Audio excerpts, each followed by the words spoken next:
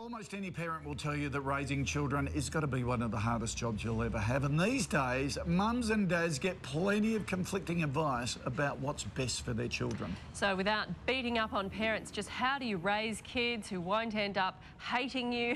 Let's ask psychologist Sally-Anne McCormack and editor of Practical Parenting magazine, Mara Lee. Good morning to you both this morning. Sally-Anne, let's start with you. As parents, we certainly get bombarded with so much advice these days. How do you know what to use and what to ignore?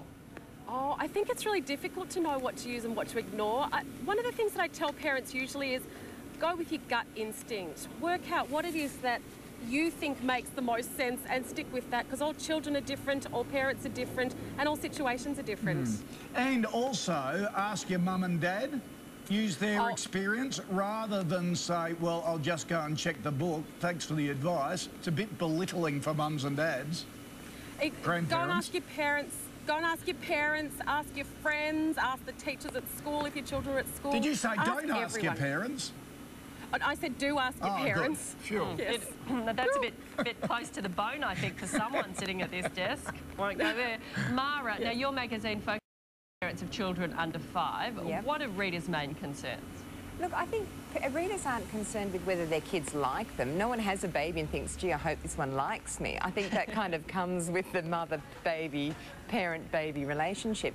They're concerned about getting it right because what's happening is every morning when we wake up, there's a new news story, there's a new scare, there's some expert saying if you do something this way, there are scary, horrible repercussions for your child. So my generation of parents and my readers are totally confused about what to do because we're being told that all of these things that maybe our parents have done before us, maybe that we were doing quite happily as we were going along this this parenting journey, all of this stuff is wrong and causing serious damage to our children. And it starts in pregnancy. Have you drunk alcohol? You've harmed your baby. When your baby is born, what are you feeding your baby? When are you feeding? How are you feeding?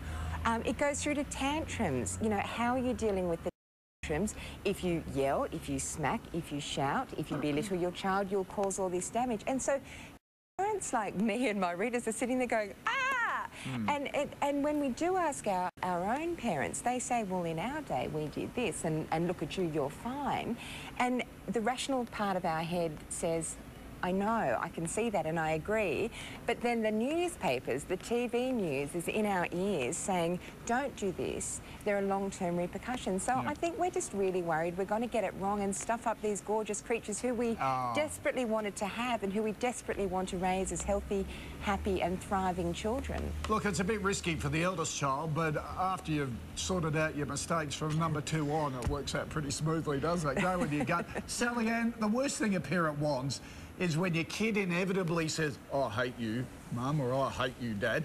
Um, how can you avoid that? What's your advice? I don't know that you can actually avoid it. I think it's par for the course. People say things with, eh, you know, in angry in angry situations. So I don't actually think that that's such a big thing. Um, it does hurt us, I understand that. But one of the things we need to remember is not to expect our children to be perfect and not to expect ourselves to be perfect either. And you know what? We are going to mess up. That's yep. just what yeah. parents do. You've got some good tips there. Stress less, have realistic expectations, give the kids responsibility. Discipline means um, learning and teaching. Yeah, no, we go through that, Sally-Anne, because um, discipline means teaching rather than just yelling and screaming or smacking or getting angry and uptight, I guess. It really does. A lot of people kind of cringe when they hear the word discipline, but discipline doesn't mean punishments. It doesn't mean, well, it does mean consequences, I guess, but it's actually, it means teaching. So I, I discipline my children every day in that I teach them the, the, ways to behave, the ways to, to be better children or better adults, and that's, you know, that's mm. what I'm raising.